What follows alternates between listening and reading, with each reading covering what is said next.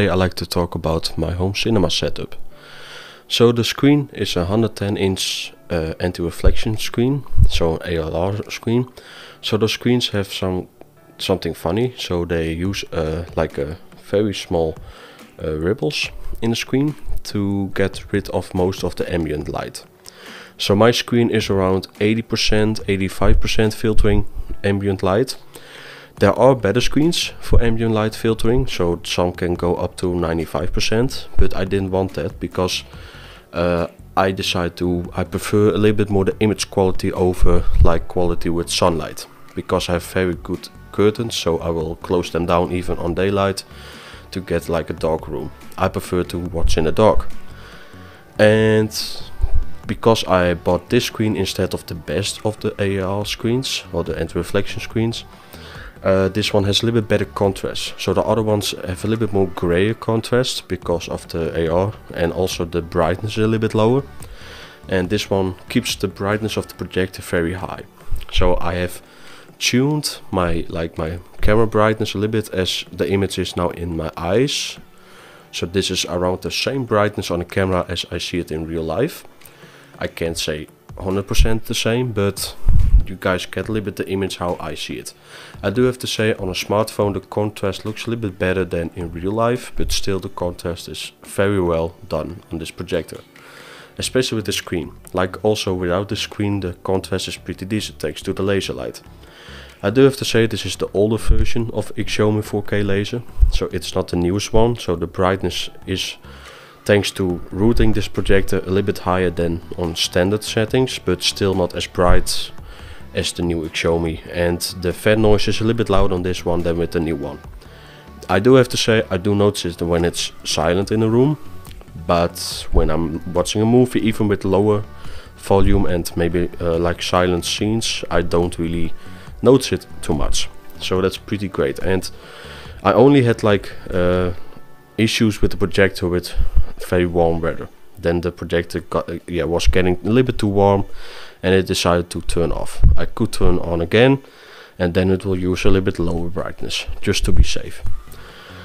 So in normal use, no problems and because I've rooted the projector, this means that I have different settings and different software.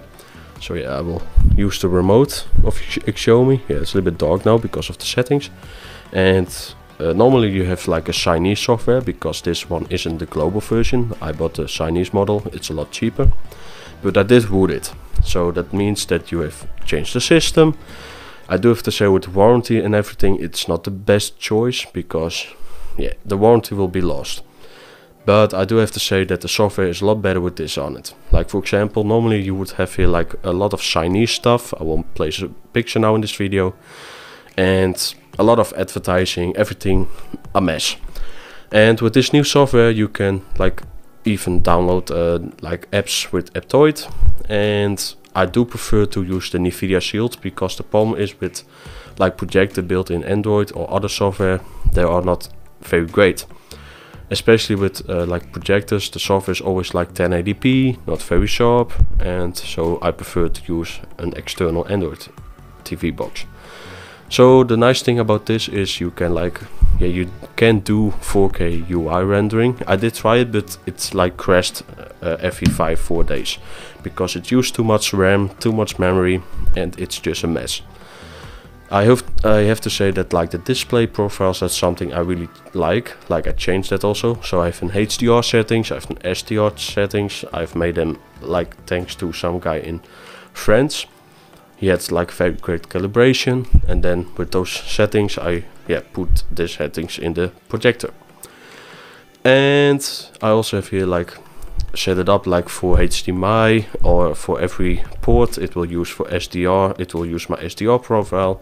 For HDR it will use the HDR so I decided to make an HDR profile because even if the, uh, the projector is seeing its HDR, like it's triggered, so it yeah it will go into the HDR settings. The image sometimes is a little bit too dark. This also has to do, of course, it's a projector, so it doesn't really do HDR very well. But thanks to this like custom HDR setting, it's very decentable. So let's go back and yeah like you have app settings So you can see uh, when I boot up this projector, it will go automatically to my NVIDIA Shield. I've connected on HDMI 3 because I didn't want to use the HDMI ARC because uh, like the NVIDIA is directly connected to my soundbar because then I have like Dolby Atmos uh, lossless files, DTS is a lot higher quality and the image is also better. But you do have like HDMI, HDMI 1 is uh, ARC if you want to use it. So you have also device settings. So these are the settings from just like the Xiaomi software. But you also have like Android settings. So that's like the Android uh, software behind everything else around it. So you can clearly see it's a little bit older version and that's with more projectors. Like for example a new one from uh, JMGO, the U2, even has still Android 6 and this one also. But for this one it's okay. Like it's also a little bit older. I do have to say that's also why I don't really like to put any important apps on it. Because yeah the Android security isn't very high anymore. But for projector and do not install any apps or any important things on it it's pretty fine. So the stock apps have been deleted with this free functionality. You can also block uh, Google Play self-updates. So you can like use some Google applications. So let's do check root access and you can clearly see it's saying yeah, root is enabled. So that's something I do prefer on this projector. So let's see this device. Then you can see what is the settings and everything. I will put my autofocus off so the image will be sharp. So you can see it's Xiaomi, device is Batman, and funny thing is, it's also a Fengmi projector because Xiaomi has this brand also. Uh, let's see, let's go back to the home page and then we go to back to the Nvidia Shield. I do have to say every time if I'm going back to my Nvidia, I have to like put a but uh, push a button on Nvidia so it triggers the Nvidia Shield back on. And now you can see the quality is also very decent. Okay, sometimes it slips, so sometimes it's like re yeah, calibrating. Sometimes it can take a little bit of time, but it will be there sometime. So, for example, that uh, that's a small issue with Xiaomi that the projector sometimes doesn't trigger the HDR very well. Uh, it especially happens with Kodi videos or Kodi movies. It's yeah kind of strange. Like for example, I have Disney Plus, and if if I'm using like Disney, I don't really have those problems. So it's clearly some kind of bug maybe with Kodi that Kodi sometimes doesn't take uh, HDR very well. But yeah, wait a second, so... And yeah, really Disney, Amazon, even Netflix can be installed on the Nvidia Shield. I don't have Netflix anymore because I find it a little bit too expensive for not the best movies or series.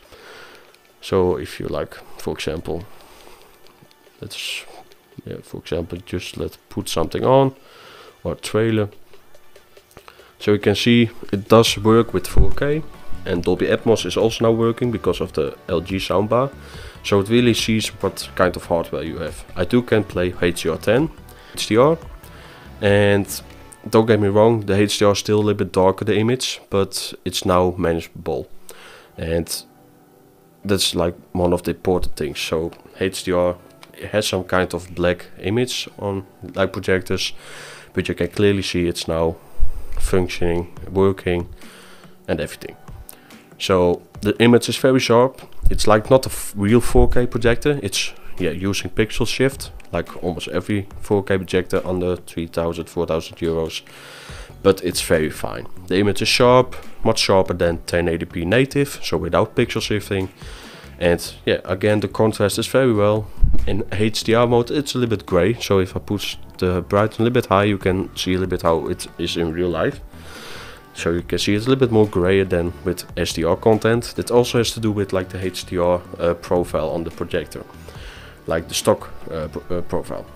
I do have to say that like overall image everything looks very well and especially like with Disney it does always take a little, a little bit of time to trigger back to uh, SDR but it will definitely work very well. And let's just say that Nvidia Shield is a very great combination with it. Like I, I won't use something else. I did have like an Xiaomi Mi box a few years ago, but that didn't have Dolby Atmos, no uh, 4K 60 FPS HDR sometimes or HDR10, and that's just something great about the Nvidia Shield. It has all those kind of things very well built in. The only downside about this projector that I really don't like is uh, focusing. Uh, like if you have it in focus, it will stay in focus all the time. But if you uh, power it off and you go to power it on again after some time, the focus has to be done again. Small downside, but after that you can watch everything you want and still in focus. So some projectors even have problems like after focusing, for example like Xgimi or some other brands. So this one only is like sometimes with powering on, you have to refocus the image. Uh, like I have to say, that's the only downside. I hope you guys enjoy this video. I know it's a little bit long, but I really like to give you guys my details about yeah, my home cinema setup and how it all works.